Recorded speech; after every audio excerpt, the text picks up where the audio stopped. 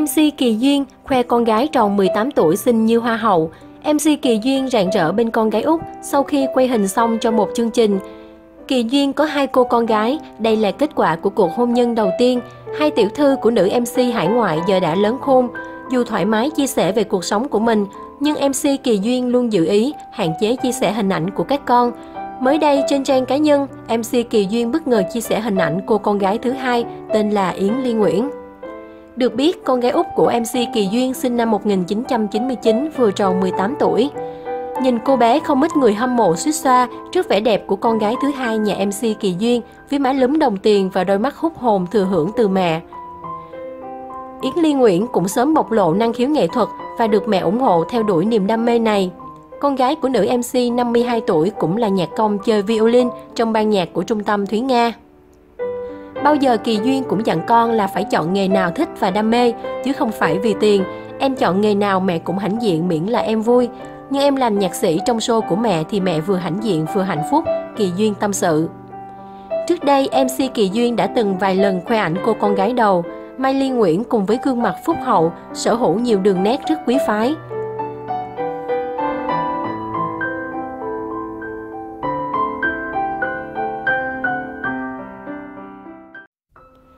Hà Vi nổi đóa, thách thức dư luận khi bị chê xấu, yêu cầu fan không nhắc đến Hà Hồ. Mới đây, Hà Vi đã viết một dòng trạng thái khá dài trên trang cá nhân để đáp trả lý giải việc xấu và thách thức dư luận. Những ngày gần đây, Hạ Vi có lẽ là cái tên được nhắc nhiều nhất, xuống sắc trầm trọng, ấn sự kém khôn khéo, hùa với fan nói về tình cũ Cường Đô La với một thái độ không mấy nghiêm túc. Không ít người cho rằng mỹ nữ và người mê quá sân si, ghen ăn tức ở, Mới đây, Hạ Vi đã viết một dòng trạng thái khá dài trên trang cá nhân để đáp trả, lý giải việc xấu và thách thức dư luận.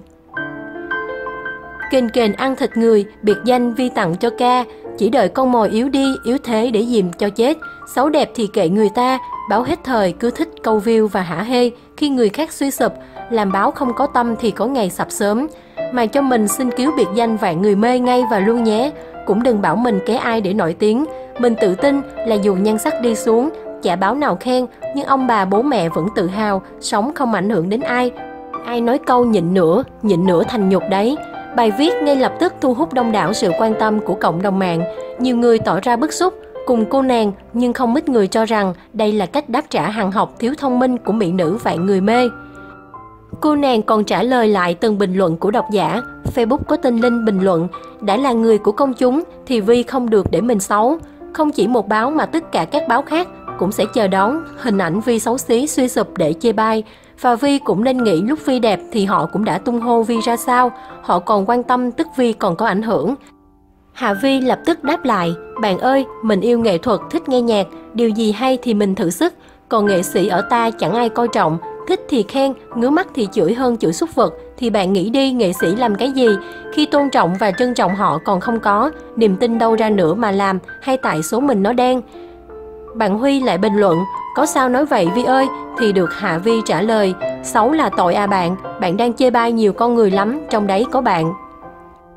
Phần bình luận của độc giả tinh tâm có nhắc đến Hồ Ngọc Hà, so sánh giữa Vi và Hà Hồ, và khuyên Hạ Vi nên im lặng, hạnh phúc trước mọi lời đồn. Đáp lại bình luận này, Hạ Vi thẳng thắn, bạn ơi, đừng bao giờ nhắc tên người không liên quan nha bạn.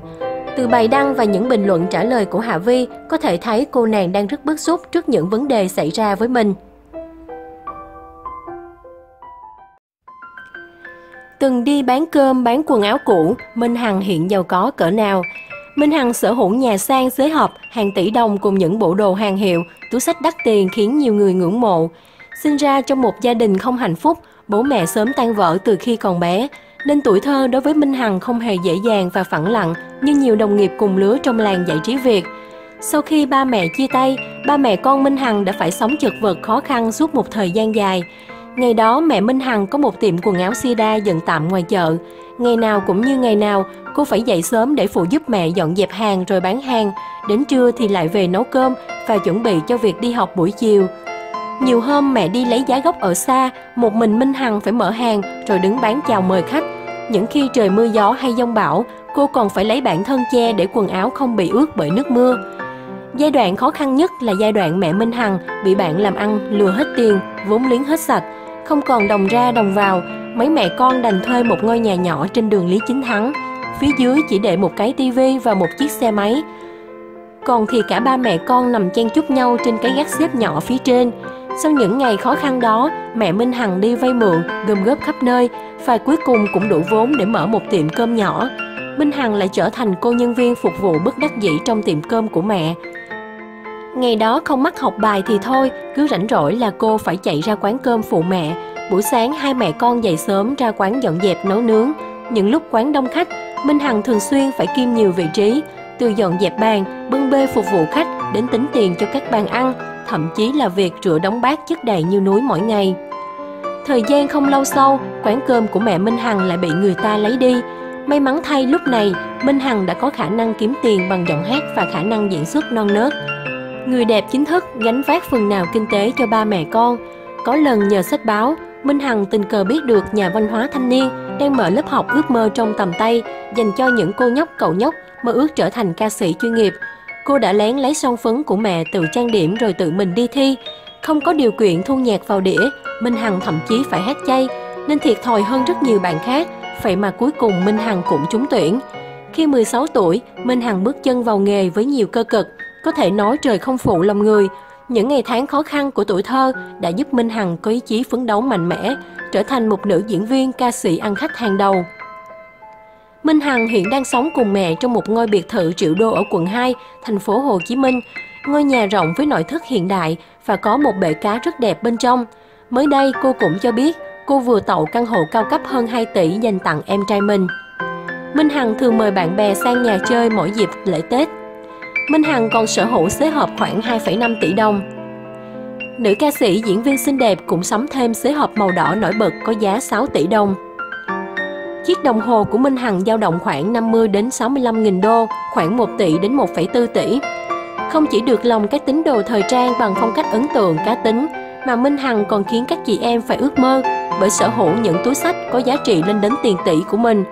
Bộ sưu tập túi sách của nữ ca sĩ có đầy đủ các thương hiệu xa xỉ hàng đầu thế giới. Chiếc túi Hermes Franking màu vàng có giá trị hơn 200 triệu đồng. Chiếc túi Hermes Franking màu xanh có giá 400 triệu đồng. Chiếc túi sách Hermes Kelly màu hồng có giá khoảng 300 triệu đồng. Chiếc túi sách Chanel màu đen có giá hơn 110 triệu đồng. Cùng những chiếc túi sách hàng hiệu khác có giá trên dưới vài trăm triệu đồng. Hai người tình giống nhau như hai giọt nước và điều kỳ diệu đã đến với Lâm Khánh Chi.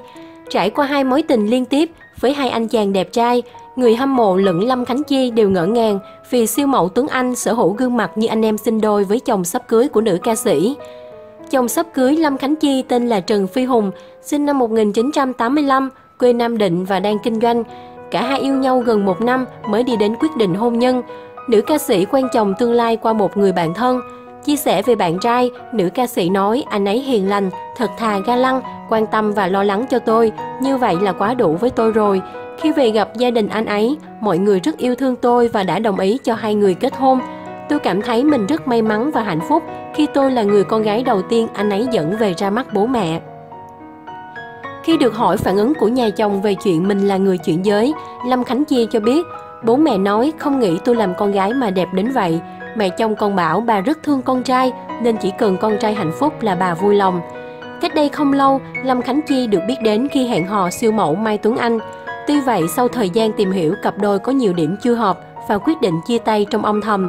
Đến nay, hai nhân vật chính vẫn chưa lên tiếng về nguyên nhân đường ai nấy đi, cũng như không có những chia sẻ ảnh hưởng đến hình ảnh đối phương trước truyền thông. Nhớ lại chuyện tình cảm đã qua với chàng siêu mẫu, chuyện cũ đã qua tôi không muốn nhắc lại, phụ nữ nên biết buông bỏ những thứ không thực sự là của chính mình.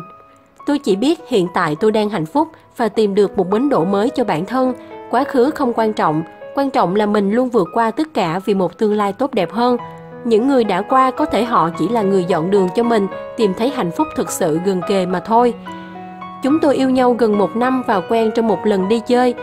Chị anh ấy là bạn thân của tôi, gặp nhau có tình cảm đều tìm hiểu nhau thì đến với nhau. Anh này có gương mặt giống như siêu mẫu tôi từng quen, nên tôi nghĩ đây cũng là cái duyên khi có hai người đàn ông giống nhau đến vậy. Ngay cả Lâm Khánh Chi và người hâm mộ đều giật mình khi đặt hai anh chàng cạnh nhau. cùng sở hữu chiều cao chuẩn, gương mặt góc cạnh, sắc nét và có nhiều điểm khá giống nhau.